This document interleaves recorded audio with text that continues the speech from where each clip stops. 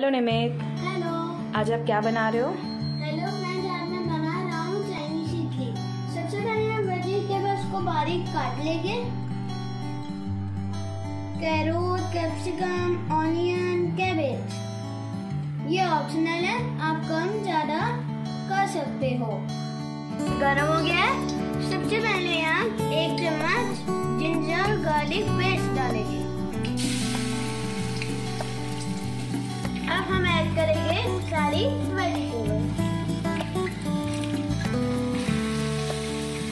अब हम इसके अंदर ऐड करेंगे नमक टूथ टेस्ट थोड़ी सी काली मिर्च।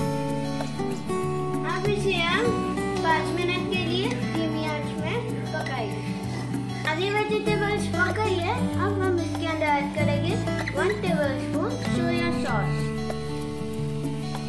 अब हम इसके अंदर ऐड करेंगे one tablespoon green chilli sauce अब हम ऐड करेंगे one tablespoon tomato sauce अब हम इसके अंदर ऐड करेंगे इडली और मैंने इसको ऐसे चॉप करके रखा है लंबी लंबी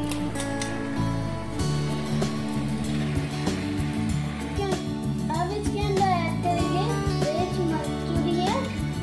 मसाला